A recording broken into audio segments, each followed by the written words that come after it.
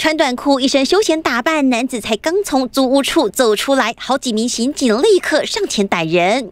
叫你不要动，没有听到是不是？体型壮硕的男子被刑警压制在地，一时惊慌失措，拖鞋还滚到一旁。收起枪，来，来，请开枪。嫌犯被警方带回租屋处，撬开保险箱，满满的千元钞，全是他抢来的名表、销赃后得到的现金。他是林姓嫌犯，涉嫌多起跨国抢案，终于落网。戴副眼镜走韩系路线的林姓嫌犯，今年三十岁，台中人，在 IG 上自称是台韩混血。四月开始，他到大陆、香港、东南亚和东亚等各国行抢，超过四起，被害金额一千一百六十五万元，包含劳力士、格林威治款，价格从三十万到一百多万，以及 Daytona 三环，两只加起来港币九十九万。但警方抓到人时，两只表已经被嫌犯销赃。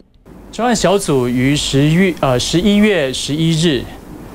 呃，见时机成熟，呃，搜索了相关的地点三处，也讯问相关证人，并且呢，拘提林先生到案，认为林先生。犯罪嫌疑重大，所犯的是加重强盗罪啊！警方在嫌犯租屋处查获现金两百七十多万和五只名表。平常他开 B N W 跑车代步，藏身台中市区的学生套房内，连续犯下多起跨国抢案的男子，如今终于被逮。检警还要再追，是否有更多国家受害？记者陈诗源、王百英 S 小组台中采访报道。